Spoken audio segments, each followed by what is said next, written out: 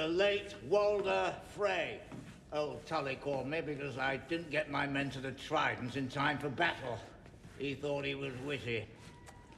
Look at us now, Tully. You're dead.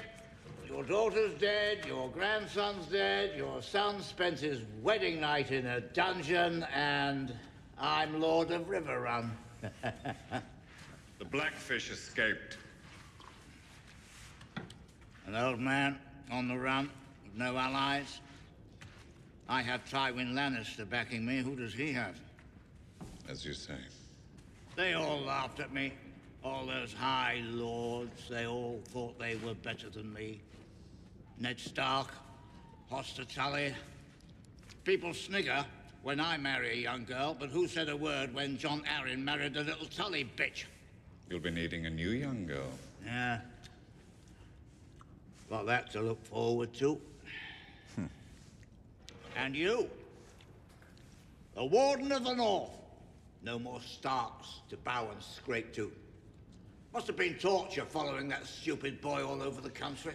He ignored my advice at every turn. If he'd been a trifle less arrogant. Calling himself the Young Wolf. How's that for pomposity? well, here's to the Young Wolf.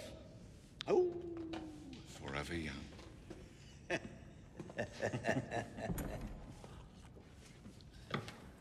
Will you move to Winterfell now that the war's over? At some point, perhaps. But Winterfell's in ruins. Yeah. What happened up there? I heard the Greyjoy boy seized the place. I heard he killed all the ravens, and after that, nothing. I sent my bastard Ramsay to root him out. Robb Stark offered amnesty for the Ironborn if they gave us Theon. Hmm. And? Ramsay delivered the terms.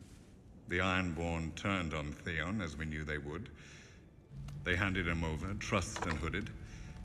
But Ramsay... Well... Ramsay has his own way of doing things.